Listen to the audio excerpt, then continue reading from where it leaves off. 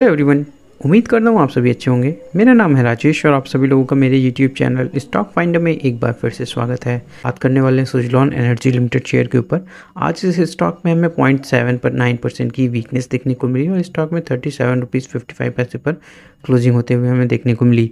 और अगर last one month के रिटर्न की बात करें तो बात करें तो स्टॉक में हमें लगभग नाइन परसेंट से ज़्यादा के नेगेटिव रिटर्न यहाँ पे देखने को मिले हैं। हालाँकि स्टॉक बहुत ही ज़बरदस्त परफॉर्मेंस स्टॉक ने हमें एक साल में दिखाई है। वन ईयर के रिटर्न की बात करें तो आप देख सकते हैं यहाँ पे सुजलॉन ने काफ़ी अच्छा किया है और लास्ट वन ईयर में बहुत ही ज़बरदस्त परफॉर्मेंस देखने को मिली है। स्टॉक में हमें टू के पॉजिटिव रिटर्न देखने को मिले हैं यहाँ से। अगर आप पहले देखेंगे तो लगभग स्टॉक हमें काफ़ी टाइम तक की इसी रेंज में ही ट्रैवल करता हुआ देखने को मिला था। स्टॉक दस रुपये से ऊपर नहीं निकल पा रहा था और लगभग स्टॉक ने छः रुपये का लो भी बनाया था। तो छः रुपये से दस रुपये हुआ और अब दस रुपये से आप देखिए सैंतीस रुपये स्टॉक हो चुका है। कि ये छः रुपये से अभी के टाइम पे सैंतीस रुपये का स्टॉक हो चुका है।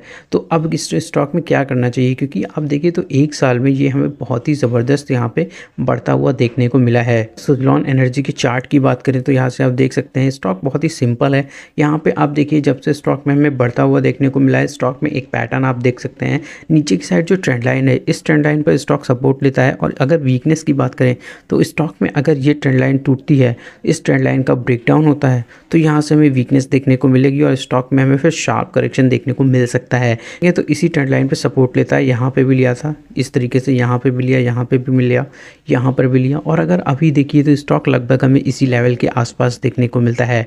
अगर यहाँ पे इस तरीके से यहाँ पे सपोर्ट लेता है और इस लेवल को नहीं ब्रेक करता है तो यहाँ से वापस से हमें एक अच्छा मोमेंटम देखने को मिल सकता है। समय काफ़ी ऊपर आ चुका है तो यहाँ से इस स्टॉक में काफ़ी ज़्यादा रिस्क भी इन्वॉल्व हो गया है। क्योंकि अगर आप यहाँ पर कहीं एंट्री लेते हैं तो स्टॉक में आपको अपने जो स्टॉप लॉसेज हैं, उसको काफ़ी स्ट्रिक्टली फॉलो करना चाहिए मेरे अकॉर्डिंग क्योंकि यहाँ का स्टॉक था, यहाँ से हमें थर्टी सेवन का होते हुए देखने को मिला है। यहाँ पे अगर थोड़ा सा भी हमें वीकनेस देखने को मिला, यहाँ पे फॉल देखने को मिला तो यहाँ इस स्टॉक में हमें पैनिक सेलिंग देखने को मिल सकती है। लोग यहाँ पे सेलिंग कर सकते हैं और वैसे भी ये स्टॉक जो है, ये ऑपरेटर्स के द्वारा ज़्यादा ड्रिवन होता है। तो इस तरीके से आप सुजलॉन एनर्जी में काम कर सकते हैं। और अगर सपोर्ट की बात करी जाए तो यहाँ पे अगर आप, यहाँ पे सपोर्ट है थर्टी फाइव रुपीज़ का, अगर स्टॉक थर्टी फाइव रुपीज़ के लेवल को ब्रेक करता है तो यहाँ से अगर नीचे जाता है थर्टी फाइव के लेवल को ब्रेक कर देगा तो यहाँ से स्टॉक में हमें काफ़ी ज़्यादा फॉल देखने को मिल सकता है। और ये स्टॉक में आपको काफ़ी ज़्यादा अलर्ट रहना चाहिए, क्योंकि स्टॉक ऑलरेडी काफ़ी ज़्यादा रिटर्न दे चुका है और ये स्टॉक ऑपरेटर्स के द्वारा ज़्यादा ऑपरेट भी होता है। तो इस तरीके से आप यहाँ पर सुजलॉन एनर्जी में अपने जो भी ट्रेड को प्लान करें, काफ़ी समझदारी और सावधानी पूर्वक करें।